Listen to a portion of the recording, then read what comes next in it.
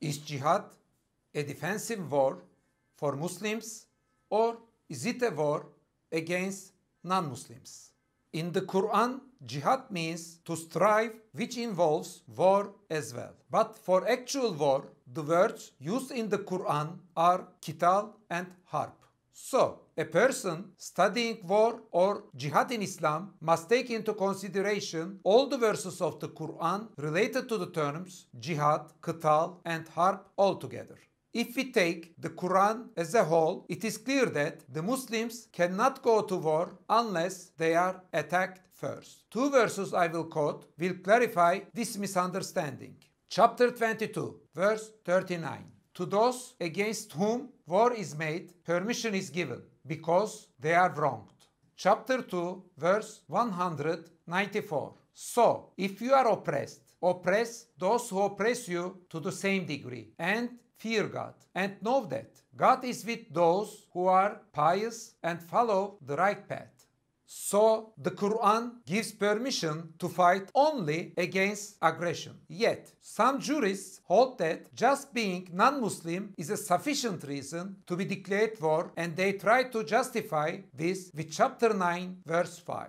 But when these months prohibited for fighting are over, slay the idolaters wheresoever you find them, and take them captive or besiege them, and lie in wait for them at every likely place. But if you continue reading the same chapter further, you will see that this particular verse is about non Muslims who have attacked Muslims. The aggressor side, being non Muslim, is not the issue here, but the attackers are. In this particular event, since it is the non Muslims who have violated the treaty and attacked, a defensive war is permitted for the Muslims against the aggressors. Their being idolaters is irrelevant. Now, let's look at the first verse of this surah, chapter 9, verse 1.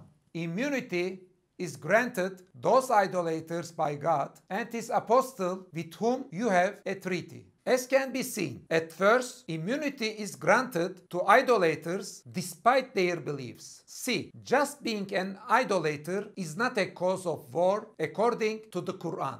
But when read further, it is understood that it is the idolaters who attack the Muslims first, and that aggression is the cause of war.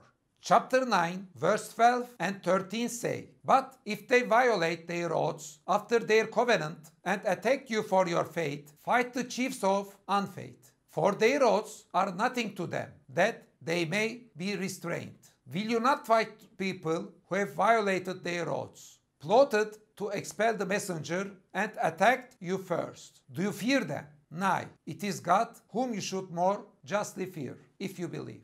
So, only by removing the verse from its whole context can these jurists hold that being a non Muslim is a sufficient reason of war. A coherent hermeneutic approach to the Quran requires understanding the Quran as a whole. In short, what I mean is individual verses have to be evaluated along with their prior and following verses, siyak and sibak, and with other related verses. Only with this method can we understand the provisions of the Quran correctly. Otherwise, it is inevitable to misunderstand the meaning of the verses. In addition to misunderstanding the meaning of the verses, the claims that some verses of the Quran abrogate some other verses and hadith can surpass the authority of the Quran is also worth to mention here for our discussion. First of all, as Muhammad Asad states, the abrogation claims has no Quranic basis and there is not a single reliable hadith which supports this idea. In order to claim that there is abrogation between the Quranic verses, we must have some verses contradicting each other. But as the Quran says, there is no contradiction in the Quran. Chapter 4, verse 82 says, Do they not consider the Quran, had it been from other than God, they would surely have found therein much contradiction.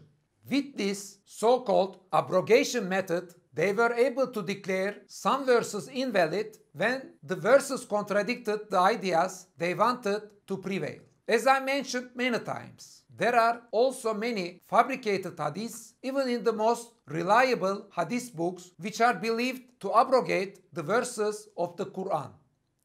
Muslim politicians needed to unite people for new conquests. They used the rhetoric of jihad and jihad against the infidels for their political purposes. This rhetoric was used not only against non Muslims, but also against Muslims who were declared infidel by other Muslims. So, even though the Quran does not approve being aggressive against other belief systems, Muslim jurists, either by misinterpreting or abrogating the verses of the Quran or by fabricated hadiths, have managed to present Islam as being in perpetual war with other belief systems. The formation of the militaristic rhetoric of jihad then is mainly the result of developing political issues the abrogation claims and the fabricated hadiths have played a very important role in the loss of jihad's Quranic meaning of a defensive war by justifying war against all non Muslims. They defend perpetual war.